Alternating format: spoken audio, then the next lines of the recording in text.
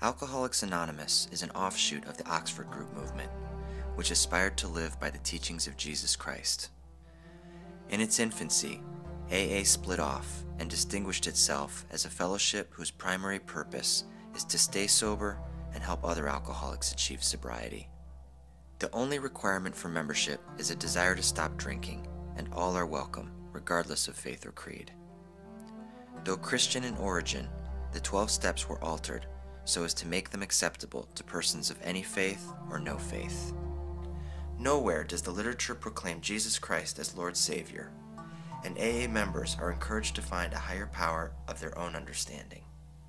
My sponsor told me right up front, he said, you know, your higher power is yours to define. And what she said to me was, you need to find a God that you'd be willing to have coffee with. It doesn't have to be a body hung on a cross. You don't have to be a, a sitting Buddha.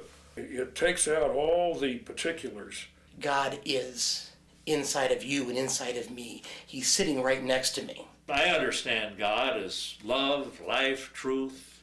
You know, people use um, omnipotence and awesome, and uh, you know, and those are all limited words to me. There is a God, and I'm not it.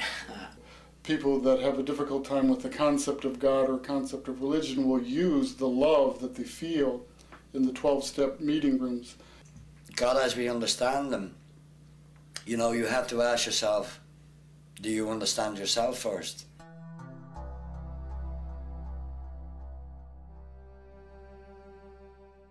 In 1935, in Akron, Ohio, one drunk helped another get sober, marking the beginning of AA. 73 years later, this fellowship has grown to a membership of nearly 2 million worldwide. What's come to be known as the Big Book of AA has been translated into over 50 languages. In addition, an estimated 550 other fellowships have patterned themselves after the same 12 step model to overcome every kind of addiction imaginable. It's God's gift to the world. I like to think it's the greatest contribution, spiritual contribution to the Western world in the last 500 years. What was your initial reaction to the rooms of AA? They sucked. I thought they sucked. I hated them. I didn't want anything, anything to do with it. I was more or less directed to go to meetings by um, doctors and social workers, and I would find the least little excuse so as I could walk out of the meeting. Like it was weird to me. Weak. That was for weaklings. You know, the opiate of the masses, the whole Marx thing. Religions for weaklings. What I'm going to say, I'm saying with love. But there are people who haven't been to temple in 30 years because they've been out drinking and they go, oh, I can't go in there. There's a cross on the wall. Come on, you know, get over it. I went and I heard people talk about God. I heard people talk about Christianity. And I heard people say the Lord's Prayer at the end of every meeting and hold hands while they're saying the Lord's Prayer. And it was like, I can't do this God thing because I don't relate to it. It doesn't make any sense to me. And I left.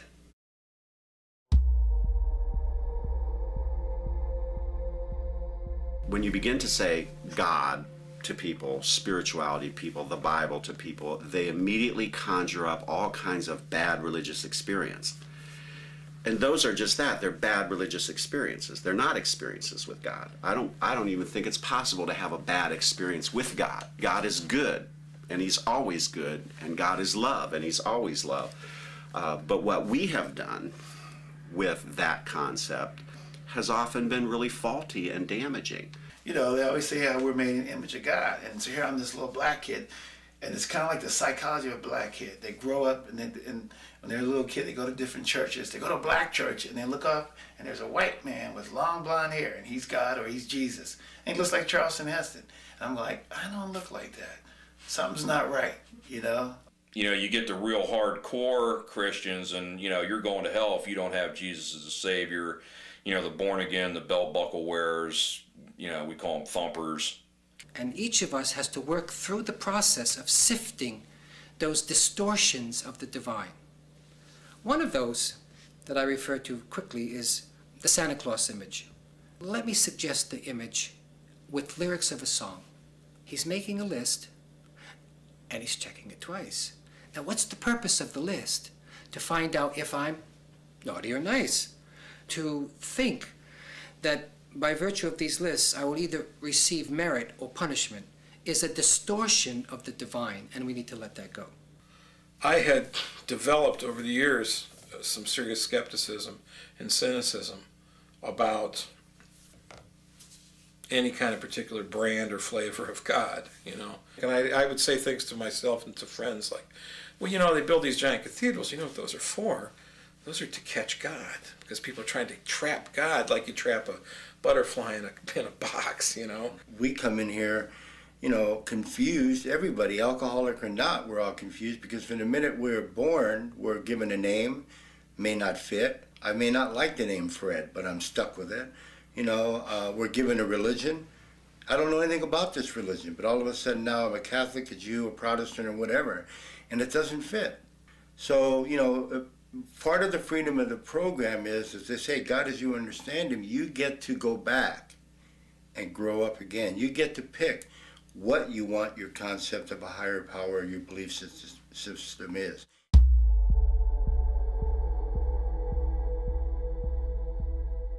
The 12 steps are fundamental truths. Fundamental truths are grounded in every religious tradition and no religious tradition.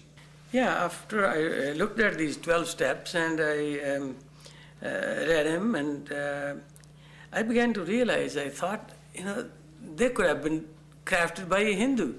All those points, 12 points, referred to in this book, Alcohol Anonymous, definitely be applicable to the Islamic faith. The 12 steps to me, I mean, I see them in Eastern and I see them in Native American spiritual practices. The 12 steps to me are God inspired. Every step is promoting prayer. Every step. I mean, from the third step on back, it says, we ask, we ask, we ask, we ask, we ask, we ask. Well, who are you asking? You know, they're, they're promoting prayer all the time. They said, I don't know how to pray. Well, then if you apply the steps to your life based as it is in that big book of Alcoholics Anonymous, I bet you will. It says, asking to turn your attention to what he would have you do. That will be done. That will be done. You know, they're always, those 100 people promoted me to pray for everything that's happening to me. How do the 12 steps work in psychological terms? And, and it seems to me that it's about um, reflection, introspection, um, self-examination, um, recognizing where you've kind of screwed up in your life and where you've fallen down many times, making amends for that, which means to make changes in your life, not just apologize, but make some changes, and then continuing to make those changes. That's good psychology. You know, if you'd asked me when I came in, what are you willing to do to stay sober? My answer would have been nothing. If you asked me, what are you willing to do to stay drunk? An honest answer would have been, lose every member of my family, lose jobs, go to jail, lose every friend I had, and uh, lose every bit of self-respect. And I think at least one way of speaking about that is in terms of the very basic theological concept of idolatry, uh, which is not simply worshiping a statue of a god or something like that, but it's put, putting something ahead of God. Uh, putting having something else as one's prime concern, ultimate concern in life, rather than the true God. And if it is some chemical, uh, some behavior like gambling and so forth, then it's really playing the role of an idol for that person. First of all, I had no idea that, you know, the drugs or, or drinking was the problem. That actually was what made me feel better, I thought. Being in oblivion. That was nirvana. But it was, uh, it was a real realization coming to the fact that that's actually why I was in hell is because of the drugs and alcohol. It was a mental thing. It was a spiritual thing. I, you couldn't have told me that. I wouldn't have believed it. My teacher, Rabbi Twerski, says what makes us human, what separates us from the apes, is not our thumbs, our pinkies, or the size of our brains. It's the fact that we have spirits. And what spirits are, are the part of us that wants more. And when we want more, we're able to think of God. And when we want more, we're able to drink to excess. it's a two edged sword.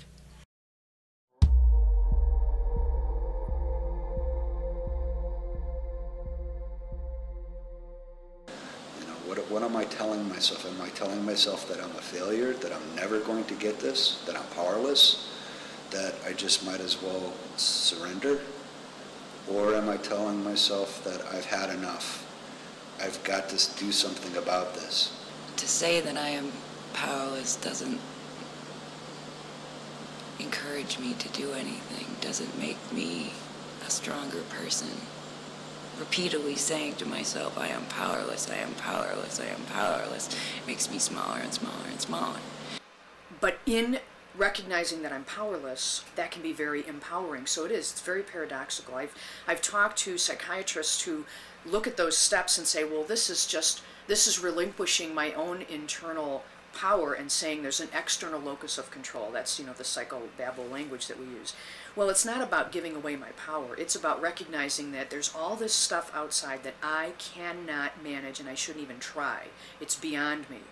What's within me that I can manage? So it's it's recognizing the power that I have. On the left side of my bed, I had a pile of self-help books that was about a foot and a half high, and on the other side of my bed, I had a pile of self-help books that was about a foot and a half high, and on one top of one pile, I had a, a little mirror with you know with a, a straw and a razor blade on it, you know, for the coke and things like that, and on the other one, I had a little a little uh, tray uh, with an ice bucket and, and, a, and a glass there and a bottle of vodka. So that's you know that was kind of my spirituality, to be honest with you. That's often the issue, is because they've been, I pulled myself up by my bootstraps and I can handle this by myself and I don't need anybody else. And well, then how come you're sitting at home drinking every night by yourself? So that, that disease of isolation is, um, people are afraid of losing that autonomy they think they have and that sense of themselves as unique and special if they become part of a group like AA. A misnomer in Alcoholics Anonymous is self help. I don't know where that came from. That is the farthest thing from that because that would imply that I would have some type of uh, power or control over something over me, and that's the farthest thing. It says lack of power was our dilemma. There is one who's got all power, that one is God.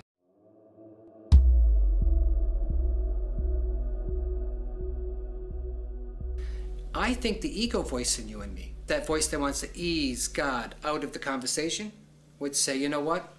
If I admit that I'm powerless, I lose control. When uh, St. Augustine talked about original sin, when he talked about it as the idea of, of being curved in upon the self, uh, that uh, idea that we put ourselves at the center of our life instead of God. If you're not your mind and you're not your body, and you do not know what to do and you're desperate, what's left? And so, I don't know. My Zen book says that the ego goes away long enough for light to pierce the soul.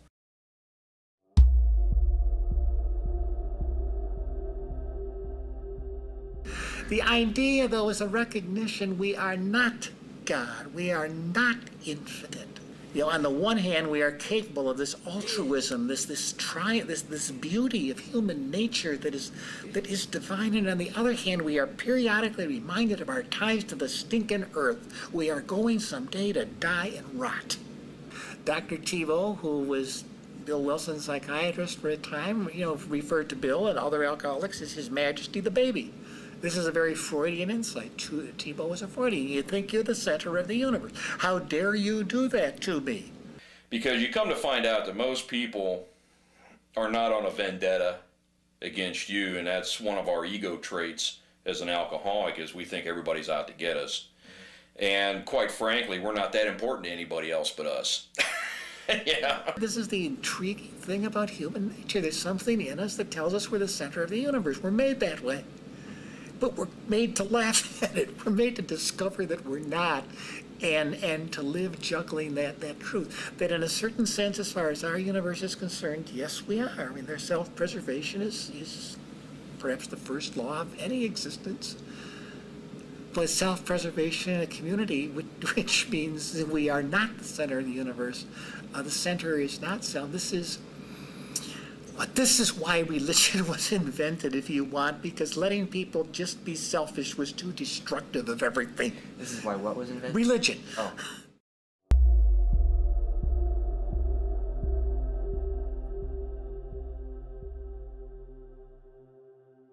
So it's like, okay, great. And you say, well, a lot of us could do that, whether, you know, whether it's the meeting, AA, um, you know, nature, uh, you know, the earth, the sea, the sun, uh, whatever you could consider a power that greater than yourself.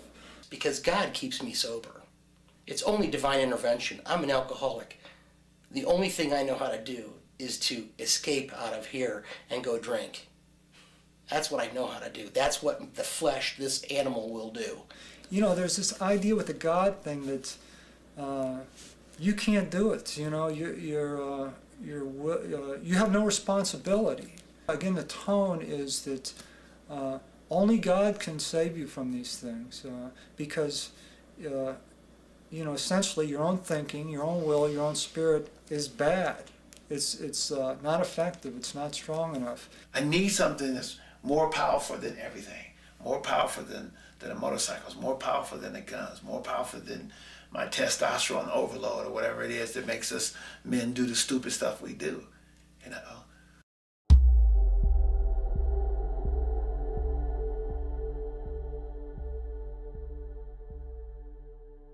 One of, sometimes maybe the one thing that kept them from drinking or drugging was knowing that they'd have to come back into the room and tell everyone that they drank or used. Uh, the disease of alcoholism is a disease of perception.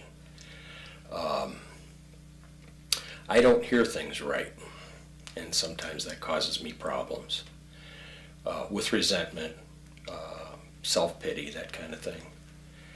And uh, that's why it's so important for me to have a group of people that I can run things by and get feedback. in sobriety, I've had some I've had some crises. I've had some things go on in me that were very tough that I could not shoulder alone. And I called upon my friends, and they show up. And I don't care if it's four o'clock in the morning. I the way I choose to think about it, would my God show up? Does my God show up at four o'clock in the morning? Yeah. Okay. So I don't know. Maybe maybe that higher power that I believe in uh, is driving that car that's pulling up in my driveway to come in and help me because I'm because I'm I'm coming apart. You know, I used to have an uh, Irish band, and, and we there'd be four of us, four or five of us singing in there in five different parts. And when you take one of those five-part harmonies and you kind of roll it up and down like a roller coaster, and everybody's staying together, you know, and I, you know what it's like? That's like a really good AA meeting. You can walk into a meeting and not feel it, and you can walk into a meeting and feel it. And when it's there, it's an energy. It makes you buzz. So I don't know really how to just I, other. I know if you I was Christian, I would probably say it's the presence of God. Uh, I just call it a resonance, you know, and, and, and it's it's when it's when recovery gets its groove on.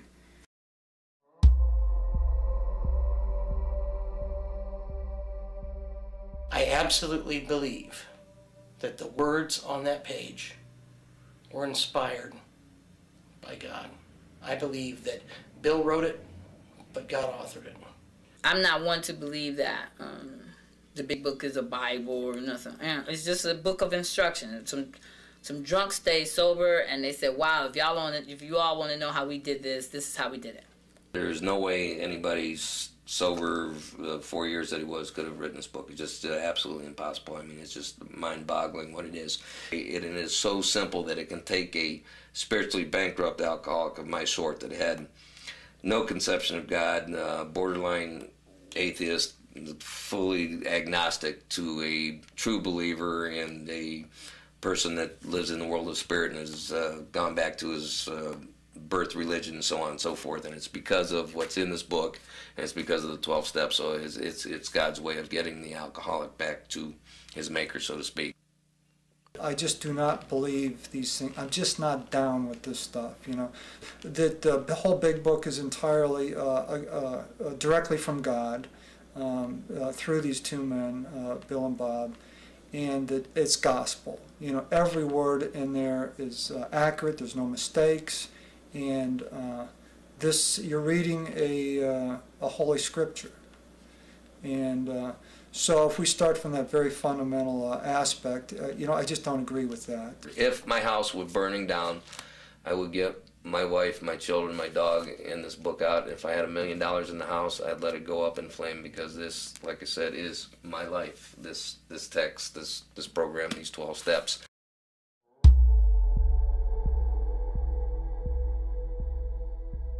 Many people they, they unite on the basis of strength, shared interest. Where with the uniqueness of AA and other 12 step groups is these are people who bond together on the basis of a shared weakness. There is something they cannot do. There's nothing shameful about alcoholism, but the reality is that an alcoholic cannot drink alcohol in a way the society calls normal. I crawled into AA and they accepted me. And you know, I was very foggy and very crazy in my head when I came in. And I thought, oh my god, these people can't know what a nutball I am. I was in a room full of nutballs, you know. For so many years, I felt like a square peg in a round hole. You know, you don't have to do anything to be acknowledged or to feel a part of. Just show up and present yourself. We are bonded together by something that we cannot do. That really was the beginning of, of religion, at least of Christianity. These were people who came together because they needed salvation. They recognized that. And they came together not because of something they had, but because of something they lacked. We get to go hang out with the same people that we were using with, uh, the same crazy people, characters, uh, colorful characters. Uh, only now we're uh, we're all in the same boat, uh, trying to save our asses. I travel all over the country and I go to AA. And as soon as I walk in, I get that feeling like I'm right here at home. It's peaceful. It would be as like that I'm back in Dublin. Uh, if I close my eyes and listen to people sharing, and the realization that I'm in a different country or a different town is when I actually walk out of a meeting. This guy said, "You know, I didn't, I didn't come into AA to save my soul. I came in to save my ass." And I was around for two years before I realized they were connected. And that, yeah, yeah, that's that's why I hang around with AAs to hear lines like that.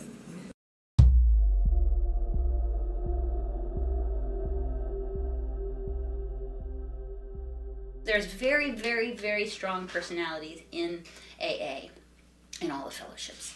They get filled, you know. They're they're they're fervent about this whole process, and that's great. But um, they gotta relax a little bit on on dictating what people need to do. And I think the original formula is beautiful of, of AA, is that this is what I was like, and this is what happened, and this is what I'm like now.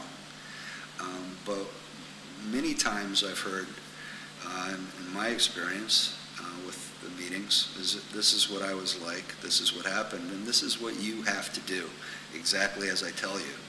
And certainly, the bottom line is they turn a lot of people off. A lot of newcomers who are grasping, looking for help, looking for a hand to help them, suffering horrible pain and torture of addiction. They come in, they hear these things.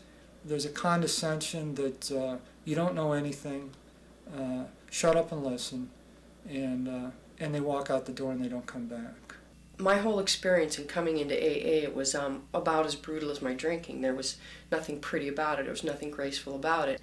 And uh, they met me where I was, which was with a really bad attitude. And they met me where I could understand there was nothing fluffy or cute, or let's talk about how you feel, or whatever, because all I felt was rage and pity. And so um, they did me a great blessing by doing that.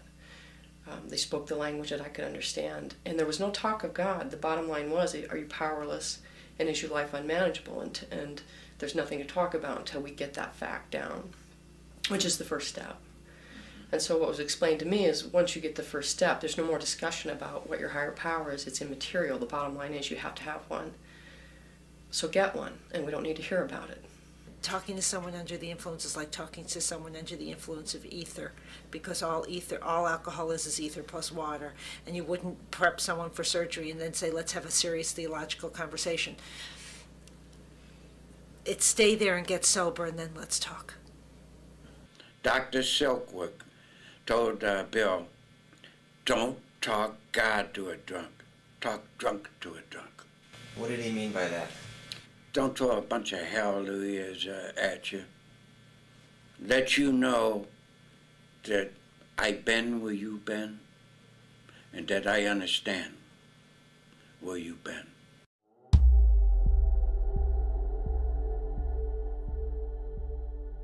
What was your response to the, the chapter, We Agnostics, the fourth I, chapter? I love that. I love that chapter. I'm amazed that Bill Wilson could write that chapter with only three and a half years of sobriety. Uh, when I had three and a half years of sobriety, I don't think I could be trusted in somebody's home unsupervised.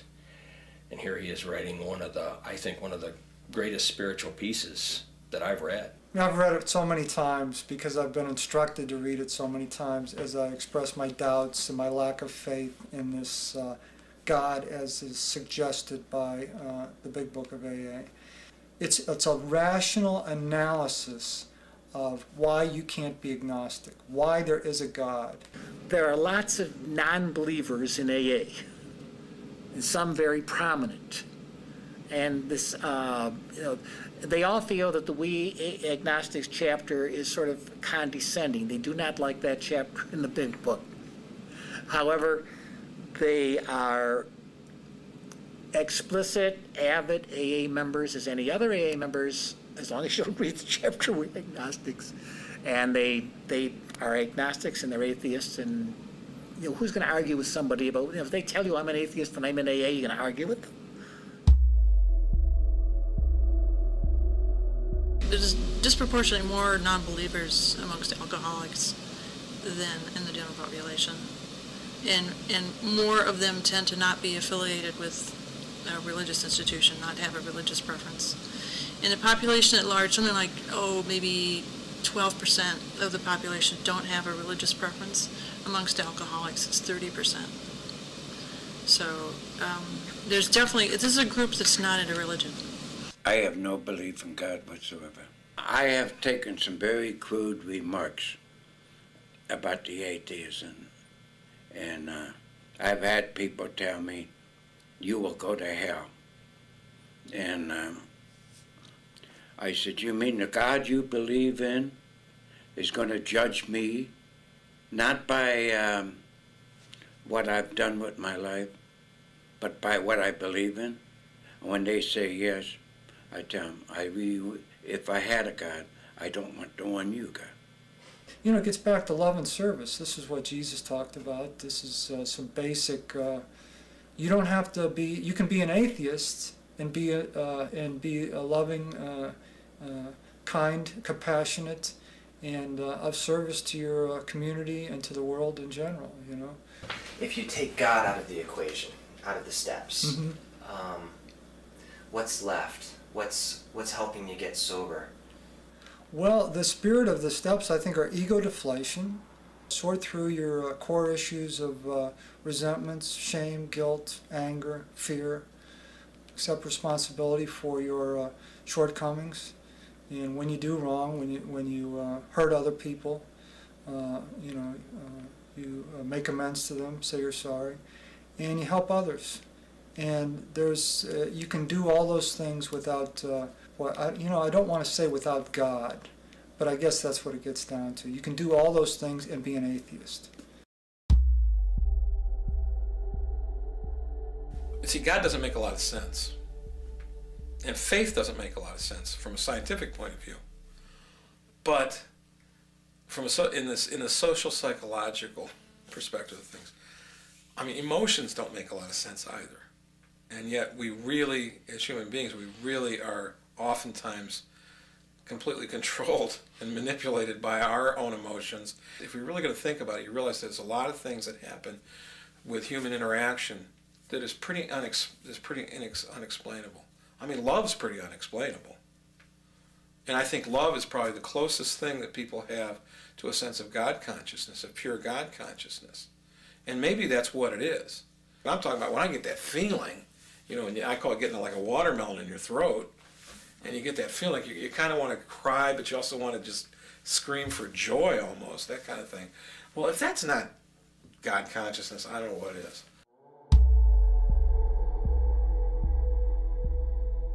The scriptural image of the Old Testament suggests we're in the image of the divine being, and that we have the potential to grow in the likeness of that divine being. That suggests that I have to let go of or stop clinging to what I think is my identity and allow for the possibility of evolution in my own being. I often use the example of an acorn. Say, what's an acorn?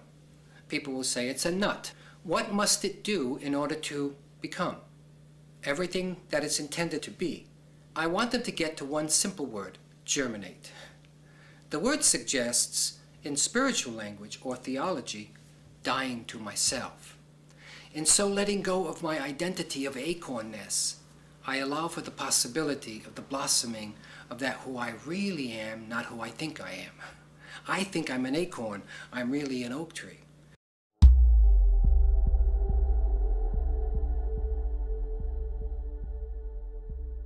I've heard so many people tell somebody, turn it over to God. If you got a date in court and you turn it over to God and don't make that courtroom, tomorrow morning there's going to be a warrant out for you. I'm, I'm 33 years old. I'm in a drug treatment center in Rock Creek, Ohio. I'm at least $15,000 in credit card debt. I owe my mom about eight grand. I haven't made a trailer payment where I'm living for six months. I'm thinking I'm going to lose my job, and I knew intrinsically everything was going to be okay. I was, I was, I was free. So some people say free at last, free at last. So is that the third step? I don't know. Islam has got two meanings. One, peace, salam, S-L-M. These are the root words of Islam. It is peace. And at the same time, it is also submission to the will of God. I have fallen at your feet, and you are the one that is going to lift me up. I heard a lady say one time, God won't do for me what I can do for myself. And there's too much turn it over to God. No, there should be a lot more getting off your dead butt and doing something about it. Once you, you, you turn your will and life over, you say, you know, God, I offer myself to thee. Boom. After that, it's, all right, if I offer myself to thee, let's offer on, you know. In Buddhism, they talk about no self. They talk about Buddha nature or the state of enlightenment or the state of awakening to others. A life of service is the, the best way to live a happy life. Um, if you think, the book says, if you think you can wrestle happiness from this world, you think you can go out there, take what's yours, demand respect, and wrestle happiness, well, go ahead, do it. It didn't work for me. And maybe it works for a lot of people, but maybe that's why we've got such high rates of depression. Most forms of mental illness, I'm told from M. Scott Peck, uh, have some form of narcissism attached to them. Depressed people are often self absorbed, always thinking about themselves. So if you can escape yourself, there's liberation there.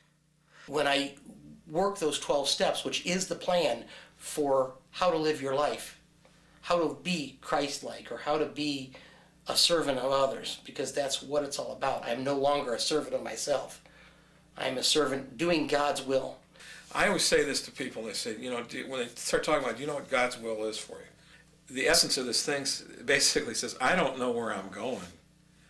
And I don't even know if what I'm doing pleases you. And he's writing this to God.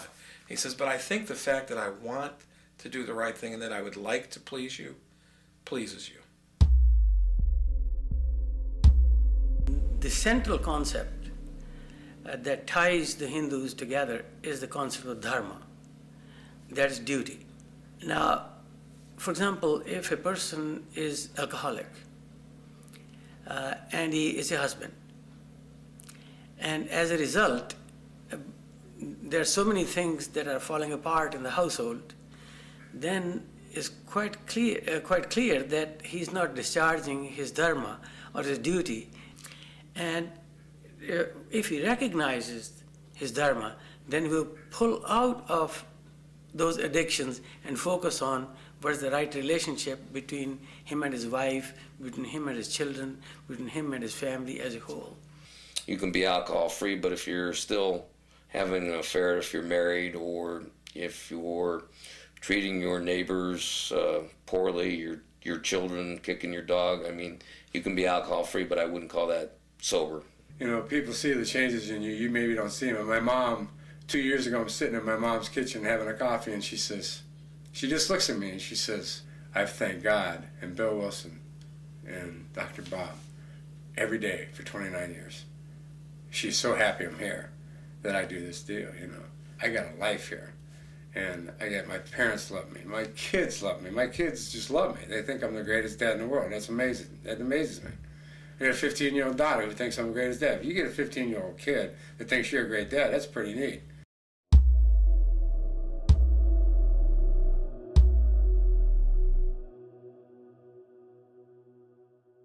You know, they even use the word reborn here. We are reborn, uh, which is a little bit scary, that, that word. I was born in Akron, died in Akron, was reborn again, not to be religious or anything like that. And he tells us in the narrative of the third step, we're reborn again, and that's not with the tambourine or Hare Krishna or any of the things that people may assign that, you know, get dunked and sprinkled and all that. But we're, we're reborn, in other words, I've been given another life. And when I walk into Dr. Bob's, you know, I can't help but get a tear in my eye of joy. Those two guys started something to save my life. They gave me something. They gave me a God, you know, a spirit that's I didn't believe in when I got here. I was a full-blown atheist. There's no way there was such a thing as God. To be literally raised from the dead. I mean, that's what we were, walking dead, at least in my particular case. And, you know, it's so much more than not drinking. I mean, it's just, I mean, it, it, it's un- indescribably wonderful. I can't put into words what sobriety is and what this new way of life is.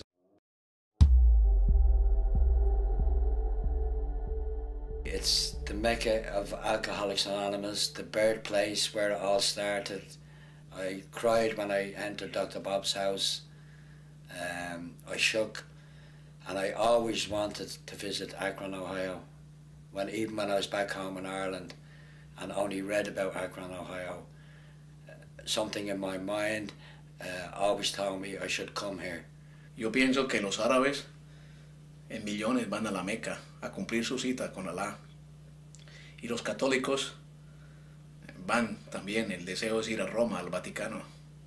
Y yo pienso que todos los alcohólicos del mundo es nuestro deseo venir algún día a Akron. Yo pienso que es nuestro Vaticano, es nuestra Meca. A lot of people come in and hear the word God and want to grab religion. I mean, in some ways, it does appear like a religion, depending on what your definition is. I mean, the court system has said it's a religion. Uh, the defense is that um, AA is not a religious program. It has aspects of spirituality, uh, but it's not a religion per se. When a life has been so twisted by addiction, people look for any excuse they can find to keep using. There is a derogatory uh, tone to uh, cult. Uh, uh, but many of the elders, the wise people who are, are not hardliners, perfectly accept the word. And they say, cult, whatever you want to call it, doesn't matter, it works. You know, you can call it whatever you want. Is it a cult? Well, maybe it is. Who cares? The 12 traditions came out of experience. They weren't written to keep AA from becoming a cult, but the net effect has been to keep AA from becoming a cult. I think the 12 traditions are to the spirituality of the group, what the 12 steps are to the spirituality of the individual. First of all, most cults have charismatic leaders. AA is no charismatic leader. One of the tremendously unique things about Bill W. is his not becoming a charismatic leader. There are no experts on AA. I'm, well situated to say that. Uh, in, in cults, there's sort of an amassing of material wealth around some individual, around some person. There is no discipline that keeps you in. Cults, you know, keep you in, or else they extrude you as some sort of an art outcast. You're a member of AA if you say that you are. You know, all that it takes to be a member is a desire to stop drinking. If you say you're not a member of AA, you know, you're okay, you're not a member of AA. You don't even have to drink. And, and so no membership rules, no no boundaries. So cults have boundaries. You know who's in and who's out. You really don't.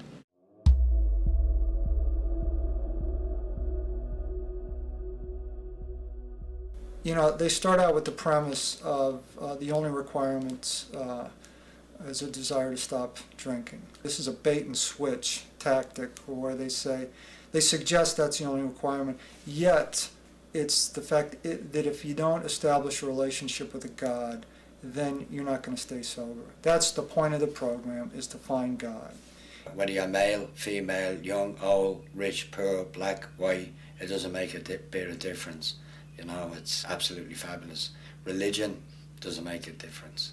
They want everybody to be chirping the same song.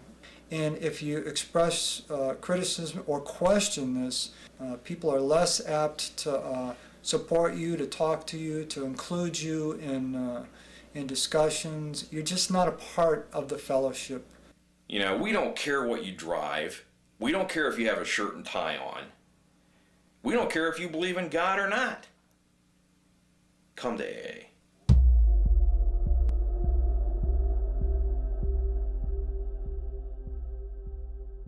There's, it's been said that there's an AA meeting on every corner, and I've been to many of those corners. It really just boils down to the individuals. And every meeting will have its own personality. Uh, some more dogmatic or more open to examination or what have you. But I won't know until I explore that meeting and find out how many meetings are in the area, ex- explore the, the wide view, you know, get a, get a view of the forest of recovery. I mean, there are all kinds of meetings. You can probably hear anything if you go to enough meetings. It's ridiculous when someone says, yeah, well, I went to AA and I didn't like it. It doesn't work for me. How many meetings you go to? Two. You didn't go to AA.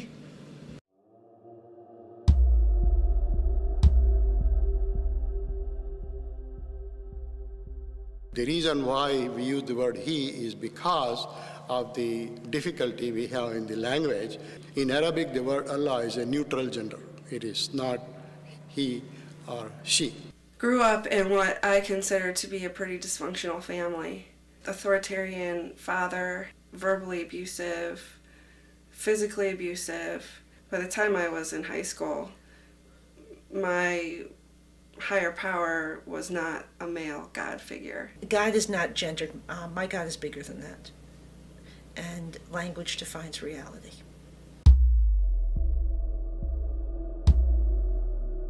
You know, all of your ancient religions, whether it's American Indian, whether, you know, it's Celtic or uh, African or, you know, whatever, any of the ancient religions all had multiple gods. Krishna uh, declares quite clearly, he says, I am in everything, in every being. Just look at that elephant, look at that cow, look at that stone. God is in everything. In fact, some Hindus will say only God is. The others are just simply the apparent manifestations here and there. Only God is. You know, people question it. You know, well, why, you know, everything's God this, God that. Well, it's your concept of God. You can do whatever you want to do. I don't believe in heaven and hell. Heaven and hell are right here. We create them. Everything in this world, you and I create. One plus one equals three. To me, religion and all of this is mythology, and we've created it. And that is the new frontier for me. And so I've created my spirituality that works for me, you know. And if if if you come to AA, you can also find your own higher power and create your spirituality. So it's really limitless. It's a matter of helping people just, as, as you said, open the synapses a little bit so that your thinking is turned just a little, like turning the kaleidoscope. You just shifted the picture, it's the same pieces there. The great wonder of creation is that God made us in His image and likeness. And ever since then, we have been recreating God in our own. And that's the mistake. So that if we're in a room full of people, we may all have our own understanding of God, but that doesn't mean we all have our own God. And that if I share my understanding with you and you share your understanding with me, we may both leave the room with a better understanding of the truth. As a result, uh, uh, I think that the 12 step programs, um, they've become a place of grace.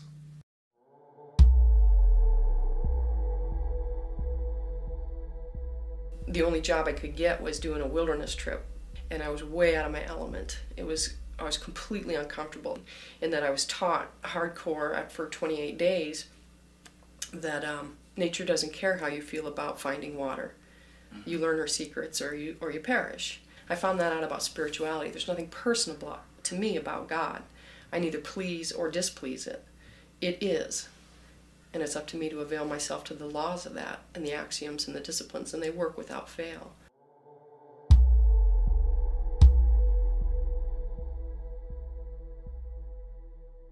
We got lost somewhere along the way.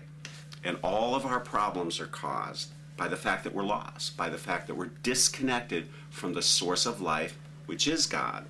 The sense of a, having a, a purpose in my life, a meaning in my life, is much lower amongst alcoholics than it is in the general population, and that's been found in a lot of studies. Um, so there is definitely a, a spiritual struggle, I think, that's going on for alcoholics. I know for myself, my search for God was kind of mistaken or misguided because God wasn't lost. I was lost.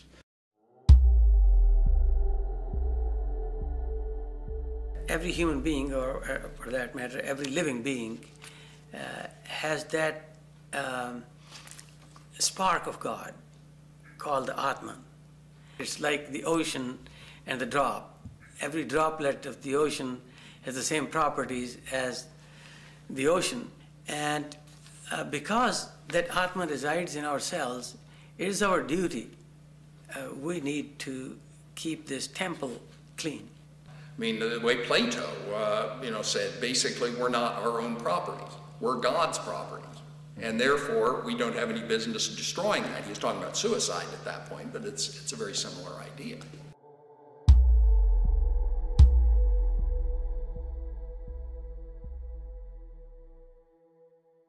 It's all your vision. It's how you pray.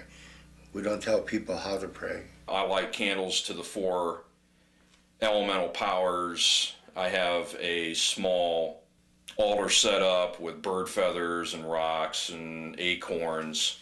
Everybody bows their head and closes their eyes, uh, and that's just really not my way of praying. When I pray, I, I open my eyes and I look straight up. My praying to God was telling him, I don't believe in you, this is stupid. And now I know it's for real. I do my meditation, I just get quiet. And then it just seems like I know which way to move. You know, there's times when I was like struggling to stay sober, and there were times when I was sad about a lot of stuff, and I would go for a walk.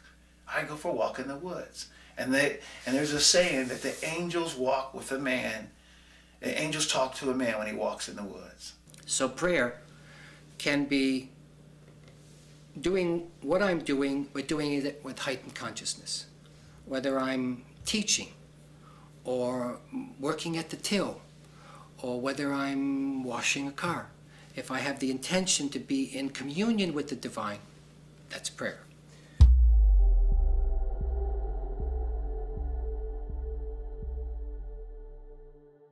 I said, so when does this belief turn to faith? Because I had been trying to say prayers to some God, mythical God, right? And I'd be like, make me a better golfer, you know, help me out. You know what I mean? It was mostly selfish stuff.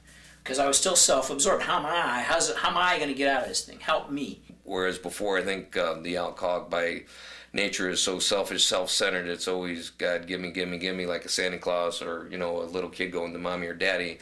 And I think a healthy relationship, or my personal one, is is not God, what can you do for me? Is what can I do for you, God? You're going to pray for potatoes. You better get a hoe. It's not what you say on your knees. It's what you do on your feet.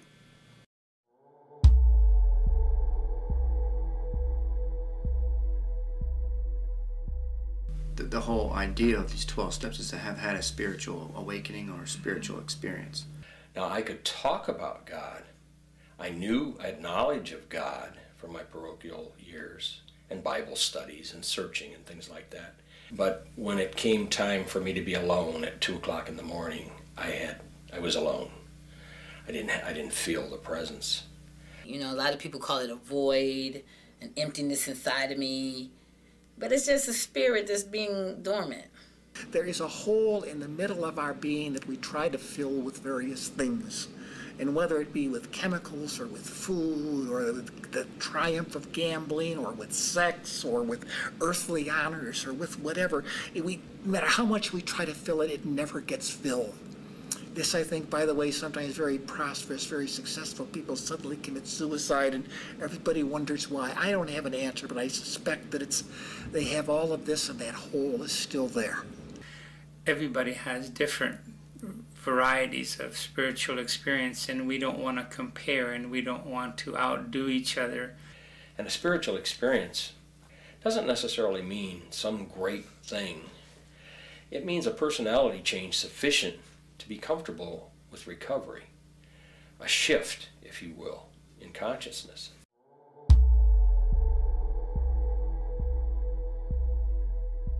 They tried to use limited words to explain this phenomenon of infinite wisdom and boundless compassion that is beyond words, beyond beliefs. How do you convey in words that which cannot be conveyed by. This is why we have artists. You know, uh, someone supposedly legendarily asked a famous painter, you know, what does your picture mean? And they, he responded, if I could have told you, I wouldn't have painted the picture. And it's the, the nature of all art. I still consider myself an agnostic. Uh, the, literal uh, interpretation of the word is without knowledge. I believe that there is something out there, but I don't think it's any of my business to define it. So I don't get into all that. And, and Native American way, we call it the great mystery. I'm not here to solve it. I'm not here to understand it. I'm here to just accept it.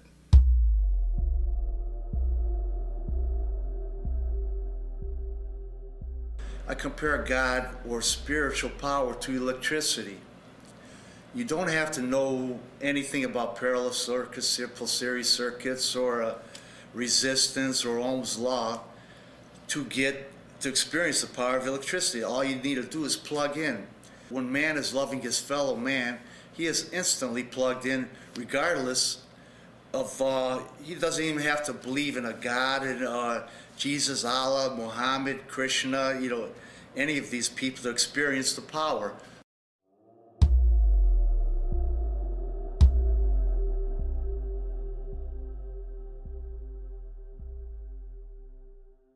I'm now working for God. God's now my employer, not my persecutor, not my prosecutor, not my executioner. And all these punishments that you're supposed to get from God, you work it off through community service. The 12th step is essentially what all the religious traditions would call uh, the golden rule, giving back, being in service to life. You're, you're struggling? Gee, go find somebody who's got a bigger problem than you. Go listen all you got to do is go out there. I guarantee you there's somebody who's got nothing, you know, and you'll be like, ooh, maybe I ought to be a little grateful for what I got. I was working 11 and a half steps. And I really didn't realize how much I missed that until I went back to sponsoring and how it completes the whole thing. And it really allows me to do my first step better, to realize how powerless I am when I see a new person, you know, struggling. Catherine has fibromyalgia, and so ah. she's in chronic pain all the time. I've found it's the greatest painkiller. I don't even notice that I have an illness when I'm working with other people because it's so powerful. And I'm very fond of the phrase, you may be the only big book somebody else ever gets to read. No. Do we stand on street corners and preach? No. That doesn't mean we keep the light under the bushel.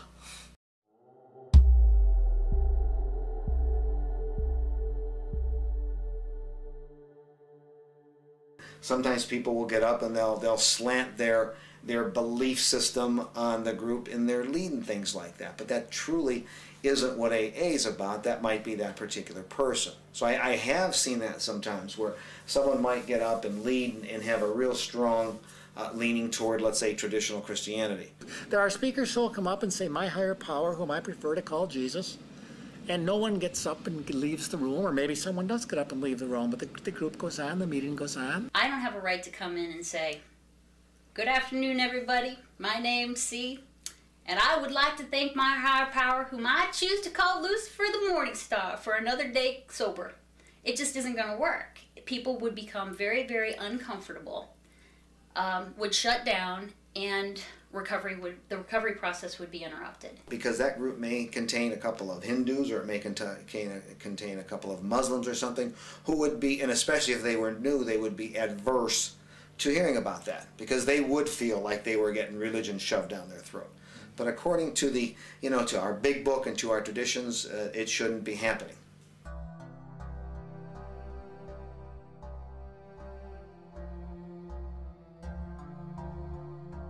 For me, what's inspiring about the 12 step meeting rooms is to see a Jew praying with a Muslim, a pagan walking a Christian through the steps, a Hindu making a 12 step call to a Catholic, or a Baptist sharing her experience, strength, and hope with an atheist. For all their apparent differences, they are united by a common problem. And this is the story of us all the story of over 6.6 billion humans who live together on planet Earth. If only the world were more like an AA meeting. God, grant me the serenity. God, give me the Einsicht to accept the things I cannot change. Para aceptar las cosas que no puedo cambiar. Courage to change the things I can. Le courage de changer celles que je peux. And the wisdom to know the difference. Utvuna lahavrin ben hashnayim. Amen. Amen. Amen. Amen. Amen. Amen. Amen. Amen.